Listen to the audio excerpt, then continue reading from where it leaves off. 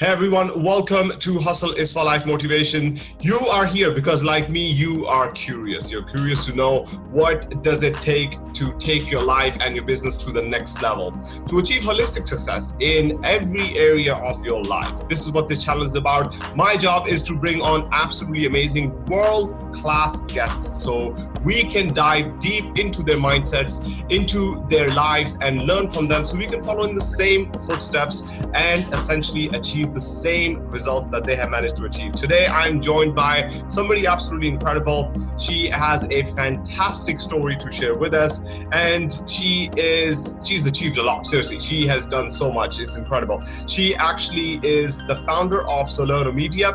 She's a brand storyteller, a writer, a speaker, and she's just about to launch her boot camp. And I can't wait to learn more about that. So, with that, please help me welcome Meredith Crawford to the show. Meredith, thank you for being here.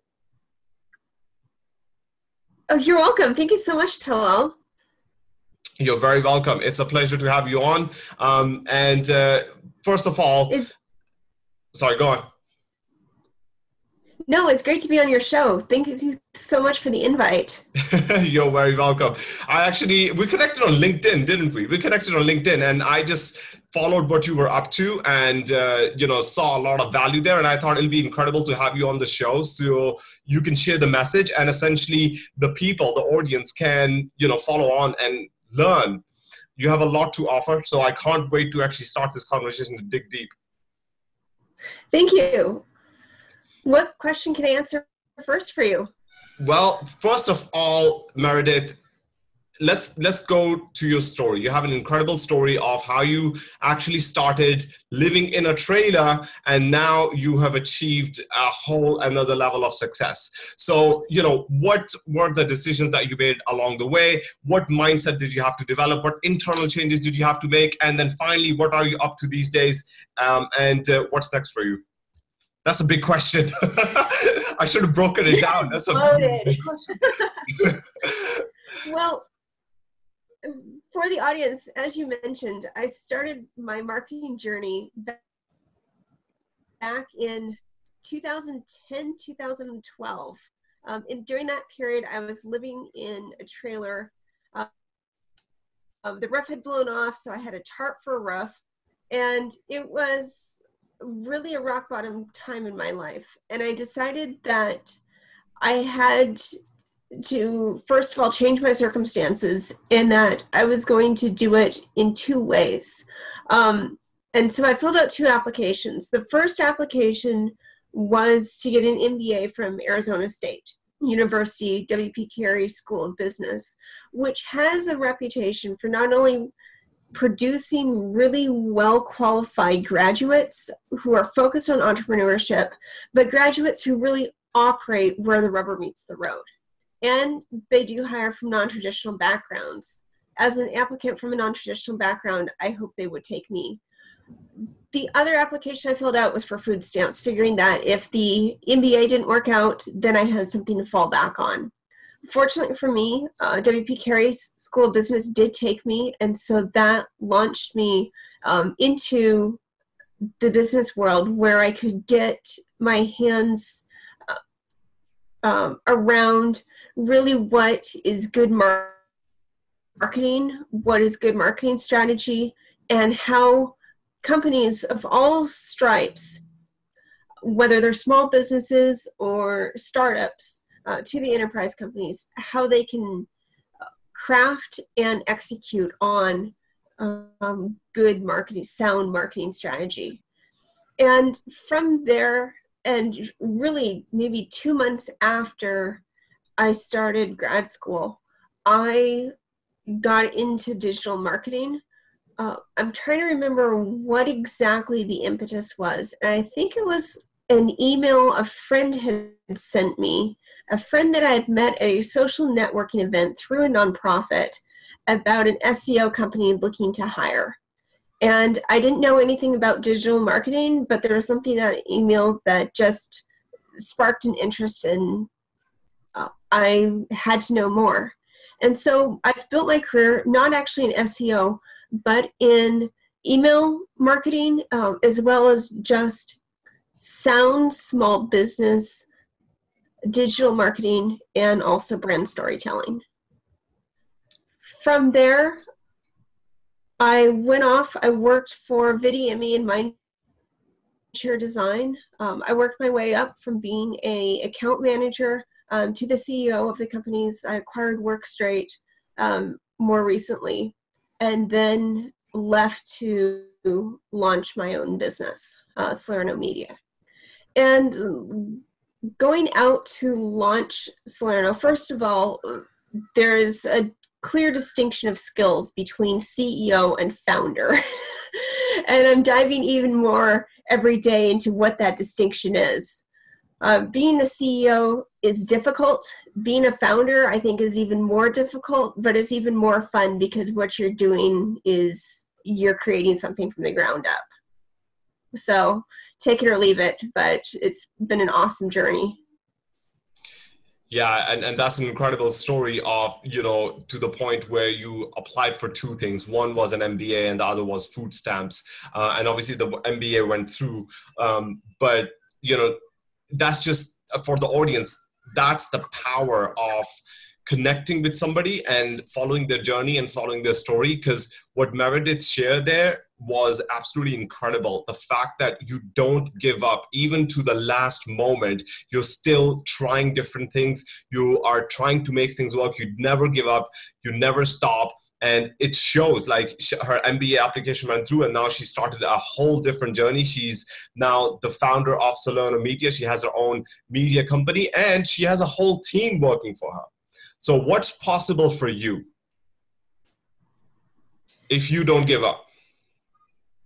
Really anything is possible. And yeah.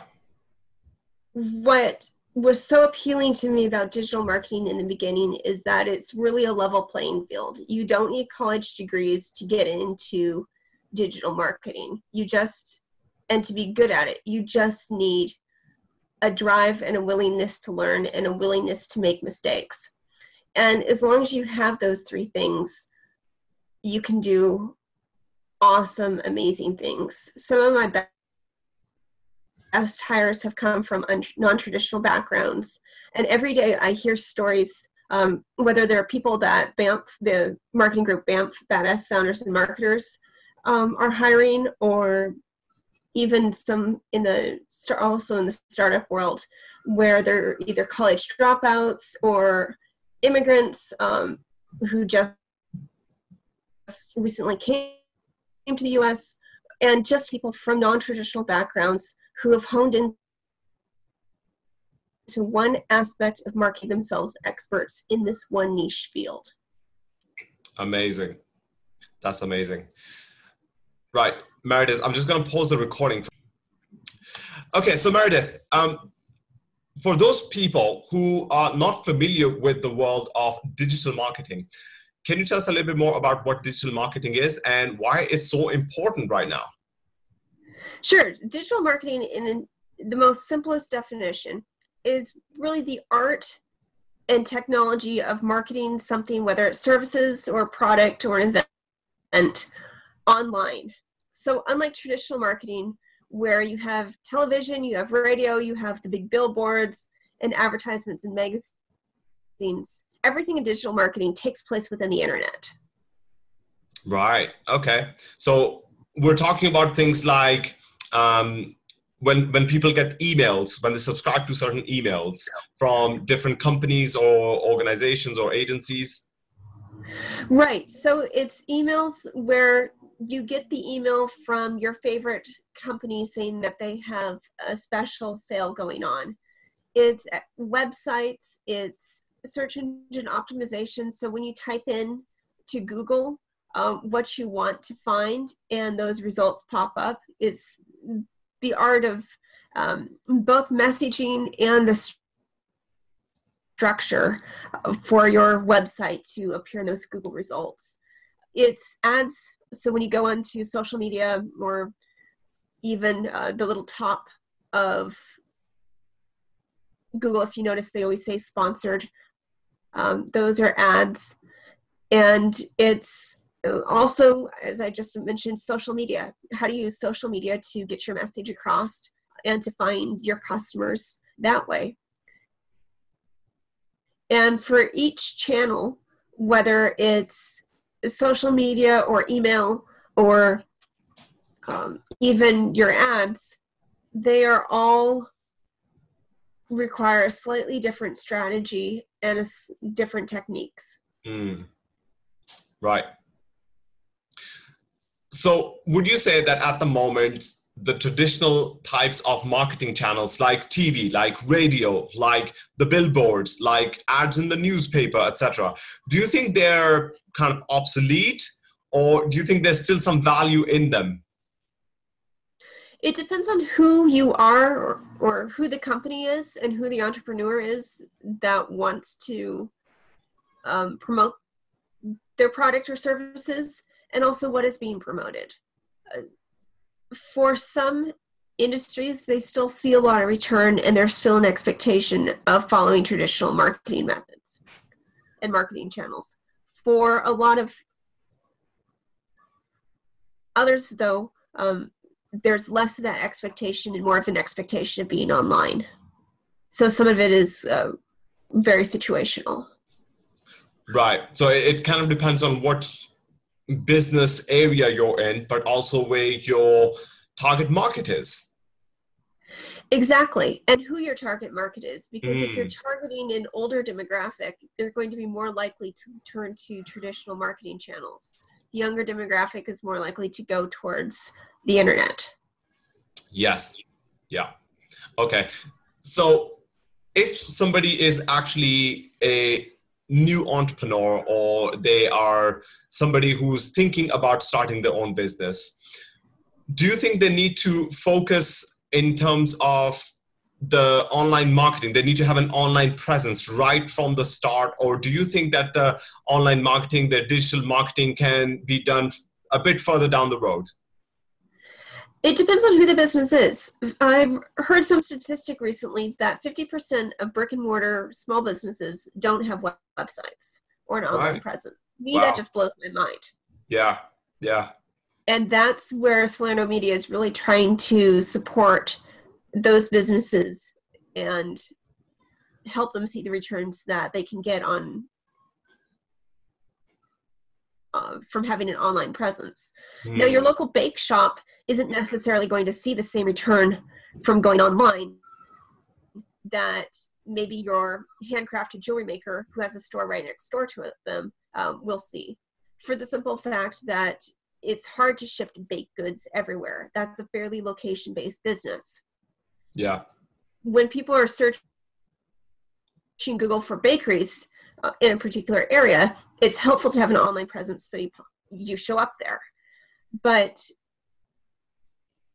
versus say that um, that jewelry store right next door where you can ship your product everywhere and so you can have an online store and a much greater online presence Right. So what what I what I'm trying to uh, infer from what you said is that for the bakery maybe it's not worthwhile for them to start running Google ads and start running Facebook ads rather than the jewelry store. For them it might actually be worthwhile to run the Facebook ads and the Google ads. right. And their approaches to websites are going to be different. Bakery is going to have a general approach of here's the type of goods that we bake and the type of things that we can do Right. whether or not they do catering. Um, are they French bakery? Are they more of an Italian bakery? Or some other type? Versus that jewelry store that actually uh, can put up in e-commerce store and sell. Right, right. Okay, so for the people in the audience who are thinking about opening a bakery or thinking of opening a jewelry store, there you go. There's your roadmap right there, laid out. Okay, go for it and let us know how you get on. Um, so, I love using. I have to. If, go on. Yes. I was going to say, I love interjecting with these examples of local businesses because we talk so much in digital marketing and we immediately think tech or entrepreneurship or info products, but really it's for everyone. And there's this whole segment of stores that you and I shop at every day um, that is not online. And it's so mind boggling that uh, they're getting left behind. Yeah, yeah, because obviously at the moment in the digital age, everything is going online. And, you know, you might not need to have that sort of presence like the jewelry store where you're running like google ads and everything like that and you have set like an online uh, you know uh, store where people can buy and you have you know something like paypal or uh, other sort of you know digital cash register things you know attached to that. But you do have need to have some sort of online presence like you said so people can actually find you when you type something into google. So it, it just depends on where you are and what you do and where your target market is and who they are. So that's really, really uh, enlightening, I guess, because um, I've I've never actually sat, sat down and broken it down and thought about it like this. And I think it's the same for a lot of people because when you sit down and talk about digital marketing and stuff, the first thing that comes to mind is like Facebook, Amazon, and that's it, right? So it's it's good to actually have those examples of like you know local stores local businesses small businesses and how they need to have an online presence as well. Right. Now i'm here in oakland so perspective can get skewed by the tech industry but it's helpful to remember that for most of the country they're not in tech. Yeah. Yeah. And the same goes i believe for most of the world that they're not in tech. Mm. yeah. So Meredith, you're also a storyteller. You also help. The, yes, you help the brands, you know, tell their story. Can you talk to us a little bit about how how you actually help them develop their story and tell that story? Yes, so the two really go hand in hand because as Solerno Media and myself as a, through Solerno Media support the local businesses. Really, it's about storytelling. What separates one um, business from another, especially in a commodity market where you're selling virtually the same thing, isn't so much the product or the, even the service, it's the other stuff. And really, it's the story and the emotional connections that your customers form with you. And I love helping small business owners tell their stories because they have such compelling stories. Mm for Solerno Media, we were formed out of a story. As a CEO um, of the marketing technology company, I had a shooting occur outside of my window one day. Um, it was during work hours, and we were in a area of Oakland that is not um, really where this type of thing just doesn't happen often or at all. And so we had to go through the whole building lockdown drill um, with active shooter. Um, of course, the active shooter was across the street um, at the intersection, but we could see the events transpire through our windows.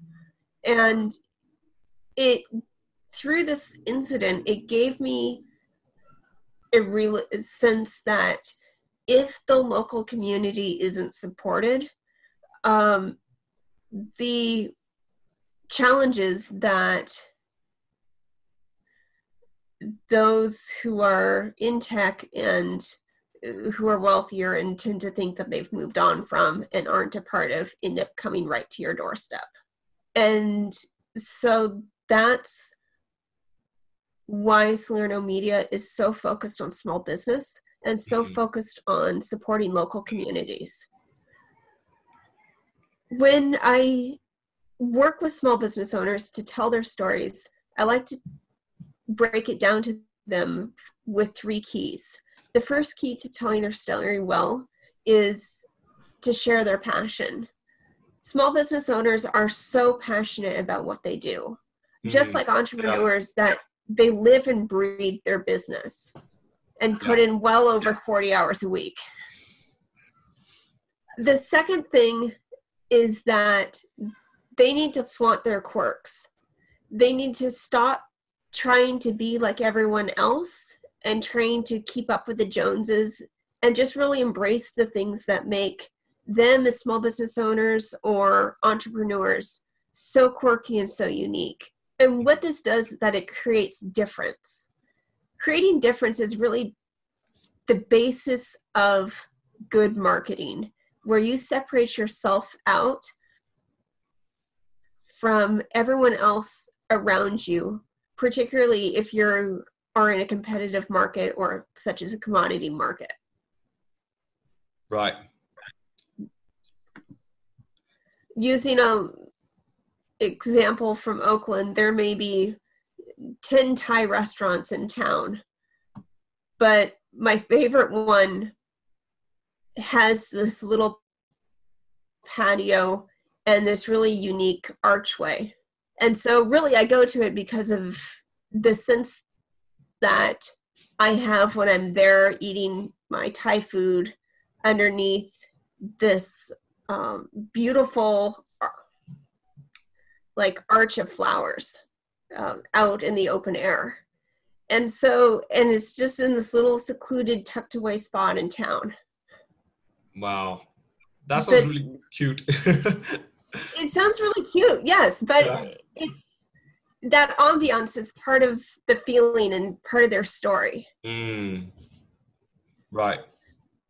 The third thing is really giving your customers something to share. And this particular restaurant has done it so well because here I am telling you the story of basically every time I've eaten there in this little open courtyard with all the flowers.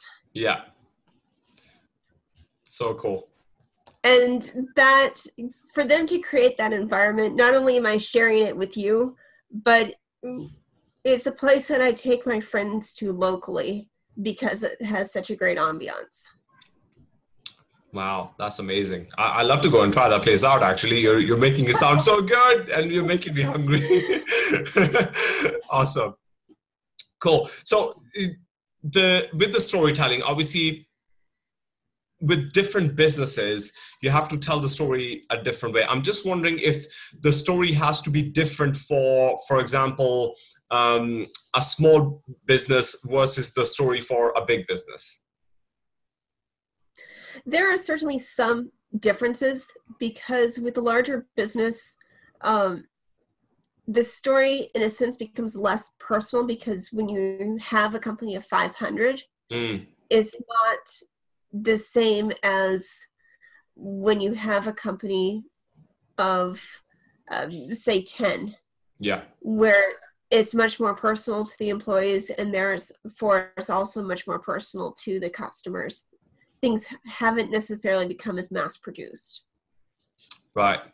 So you you think that with a small business because they're so close to the customer, they can have like more more connection with their customers. And so they can share that connection in the story by talking about the little things you know that for example the customer values or the customer enjoyed or the customer you know really liked about their business versus a big business which is more you know established. So they're a little bit more withdrawn from the customer i guess. So they they they have less of that intimate contact with the customer yes to an extent. Uh, i was just thinking also of local examples.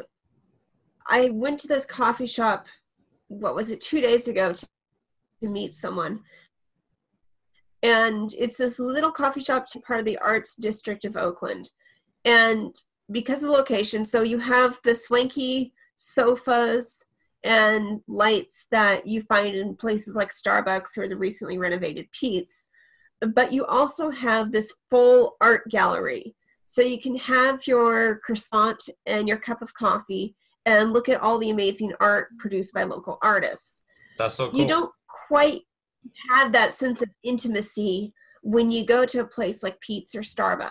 Mm. It's not that Pete's and Starbucks don't have great stories and don't tell their stories well, but it's a different sense of draw and appeal. Mm.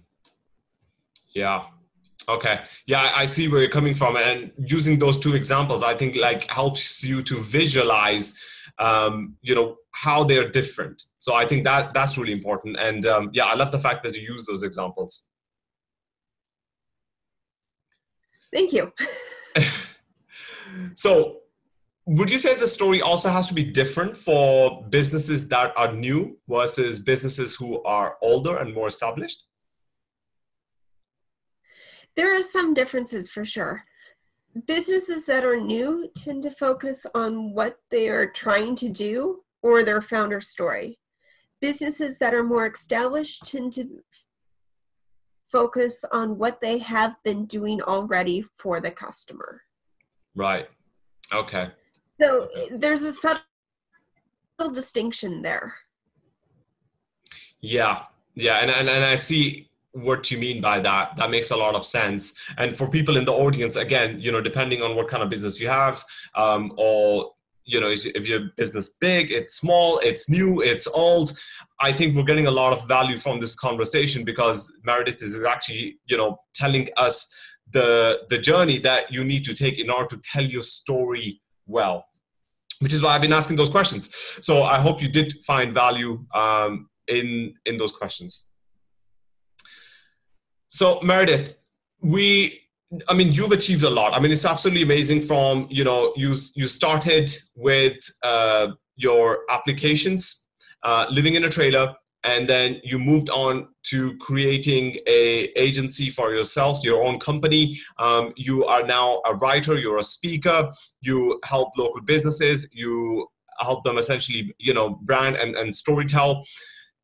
It's absolutely incredible. So, how the the the question I want to get into really um, is what sort of mindset did you have to develop to do this? Because for a lot of people, they focus on one thing. Um, you know, for example, just the fact that they want to say um, grow their business and 24 7 they'll just be focused on that but i want to really try and understand what does it take to create holistic success what kind of mindset do you need to have to go and whatever you do you find success in that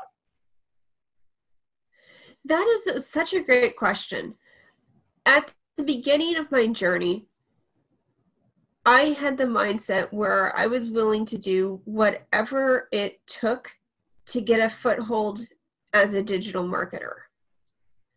And for me, that meant a lot of late nights reading about how to put together WordPress websites or what the latest trends in digital marketing were and just the time spent building my connections within the digital marketing world. Anyone who is serious about networking knows that it takes time and intentionality. Oh, yeah. And being disciplined to put that time in was really key at the beginning. Right. Also, learning realizing what you don't know one of the most critical questions i asked in my life was what is the difference between marketing on the brand side versus marketing agency side hmm. and i asked a connection that question and it ended up giving me a job and so reaching out to people with those types of questions and drew, learning from their experience can open up really unexpected doors. Yeah, absolutely. Absolutely. Now, as I move into the founder phase, the mindset that I have is again one of being willing to embrace mistakes and failures, but also one of creativity, connection, and giving myself permission and my team permission to explore. Mm. As we build the Solerno Media brand, we're still in an important phase where it's for experimentation, for exploring what works for us, what doesn't work for us. And there are so many people that I see tr- pigeonhole themselves or try and pigeonhole themselves and their companies too soon and too early on in that in their development. Right. Awesome. So Meredith, this has been an incredible conversation. Um, you shared so much value with us, and I think I, there's a lot of important takeaways for me as well. Um, especially the storytelling side of things how that is different for different businesses different size businesses businesses who are older versus younger businesses. Um, and you really broke it down. And you used lots of examples which i think was really important because it really helped me visualize those things and see the difference between the stories of different uh, type of businesses different uh, size of businesses etc and i think the audience must realize just how useful this is if they are for example starting their own business or thinking about starting their own business or they have already established a business and they're thinking about you know how they can grow it. So the storytelling aspect is really really important. Uh, so i just want to thank you for sharing all that with us. Um, i think there was a lot of value in this conversation. I'd love to have you back on. We can dig deep into other things and go down different rabbit holes Sounds good. Thank you so much, Tallal, for having me on your show, and I look forward to um, coming back. Yeah, yeah, I think I'll, I, it, will be absolutely incredible. I'll love to have you back. But before you go, can you tell us a little bit about how can people get in touch with you and find out more about Solerno Media, and also uh, about your bootcamp when you're starting your bootcamp, and finally, um, how can people help you? Yeah, sure. So first off, to get in touch with me, the best way is just to email me, Meredith, M-E-R-E-D-I-T-H, at solernomedia.com. That's the easiest, most direct way. Otherwise, reach out to me on LinkedIn. For the boot camps, we have a boot camp starting June 21st and 22nd. It's two day intensive where it's myself and others from the Solerno team uh, pulling together small business owners in a room and teaching them hands-on digital marketing skills. This is where small business owners take bring their laptops with them and get be, are prepared to have their marketing plan and channels built out. So hopefully it'll run monthly if the if the pilot boot camp goes well. Otherwise, it'll be every couple months. And then secondly, how to help. I'm always interested in other people's stories. So connect with me. I'd love to hear your story. And I just love to meet new people. So I welcome any and all introductions and look forward to those stories coming in. Awesome. Well, guys, there you have it. Our amazing conversation with Meredith Crawford. The story that she shared was absolutely incredible. Right from the beginning, she talked about not giving up. She had two applications, one for an MBA and one for food stamps. Uh, but right to the last minute, she did not give up. She was applying for the MBA and that fell through. So make sure that you are following the same advice. She also talked about the incredible event, you know, where there was a shooter outside and the story behind her Solerno Media uh, company. And she then talked a lot about storytelling and how you can tell your story in the best way, depending on what kind of business you are, if you're new business, old business, small business, big business, etc. So, absolutely incredible conversation. I've learned lots of new things which I did not know about before, and I just can't wait to have her back on so we can dig deep. But most important thing was the mindset, um, and Meredith actually broke down her mindset where it was back then when she was just starting out versus right now where she's the founder of Solerno Media. Again, absolutely incredible. So with that, I ask you guys to share this conversation with somebody else who is close to you and needs to share this, uh, sorry, needs to hear, can't talk, can't talk. I haven't eaten. Um, so needs to hear these messages um, and they they need to actually uh, they'll find value in this. I'm thinking about that that thai place. That's the problem okay? You you it's meredith's fault okay? I'm thinking about the thai place now. Okay so again, um, I want you to share this video, this uh, conversation with people close to you. Also, make sure you leave us some comments. Tell us about your journey, your amazing story, and if you're starting a business, then how are you going to tell your story so you can get your customers emotionally involved? And finally, make sure you subscribe to the channel because guess what? Otherwise, you you will not be part of these amazing conversations with other amazing guests that we're hoping to bring on, and so we can dig deep, learn from them, and get inside their heads.